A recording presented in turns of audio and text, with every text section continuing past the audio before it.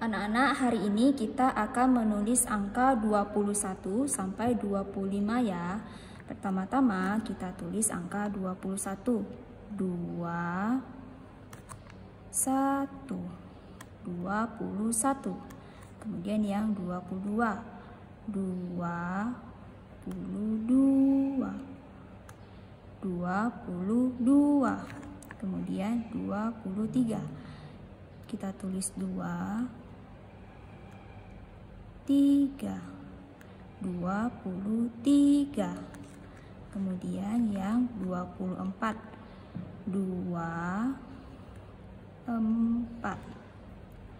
Dua puluh empat. Kemudian yang dua puluh lima. Kita tulis dua kemudian lima. Dua puluh lima. Sisanya anak-anak kerjakan di rumah ya. Semangat